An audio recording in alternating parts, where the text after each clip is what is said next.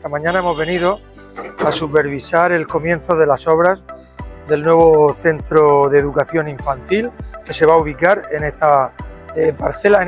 realmente en esta unidad de actuación de 32.000 metros cuadrados, esta nueva zona de desarrollo que está a caballo entre La Viña y San Antonio. Esta escuela infantil va a costar de 818 eh, metros cuadrados, eh, seis aulas de educación infantil, como saben, de, de 1 a 3 años y nos va a dotar de 82 nuevas plazas que complementan de manera muy importante las que ya tenemos disponibles tanto en el centro de la olla como en el centro de la paca.